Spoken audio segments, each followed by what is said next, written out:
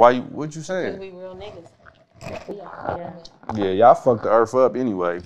No, we didn't. Are you about to do that? Are you about Yeah, to do we- the Adam we and get- Eve yeah, stuff? hell yeah, No, we- let me tell you we about mad as that. fuck at if Eve. Adam was leading with his pill head ass, when she came and Adam was give popping him, pills now.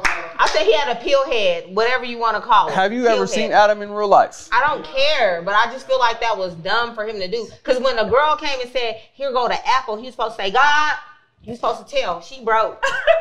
this one right here don't Okay, work. picture this. We in No, the- I'm not finna do Picture that. this. We in the garden. We in the garden. We butt ass naked. She come over seducing the nigga with the apple like. Come on, cuz. We can't say no to that. Yes, you can. No, we can't, bro. He was supposed to leave. Like, girl, put that shit down. Come here. I heard another theory, not to go off topic. The second one anyway, so.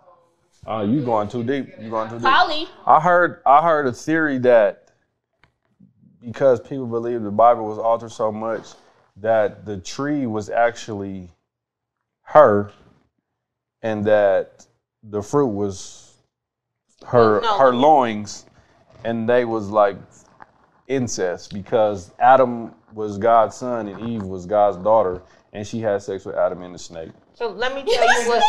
let me tell you what I heard. This is a theory. So That's just a what theory, my bro. son said that those were all analogies. So when they said there literally was not a snake. So when she was supposed And it wasn't an apple, it was fruit.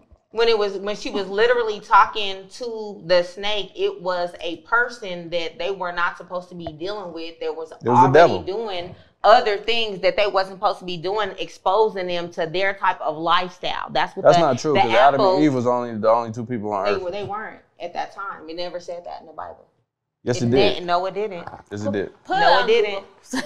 Yes, I'm gonna, ha- I'm gonna, you know what? What I'm gonna do is I'm gonna have my, we're gonna have a discussion. I'm gonna have my son come on. He's an Israelite, and have him break down. I can't that do this religion shit. I'm just, I'm just. Everybody saying. got a different.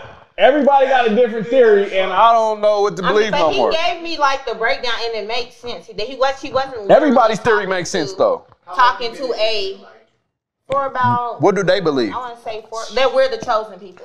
Well, that's anyway. Right, we're Period. the chosen people, and we need to start to follow all of the laws, statutes, and commandments. Which is what? Then- Like the Ten Commandments? No, there's like over 600. Yeah, that's So never we're supposed we're supposed to follow them for the most part, and then basically this is our hell on earth. And then when God kills off all the, you know, whoever he needs to kill off the white people, basically it's gonna be their hell because they're basically gonna build everything for us, like we built it for them, and they're gonna be our slaves. Yes, This is they got a book they read that, that says this shit.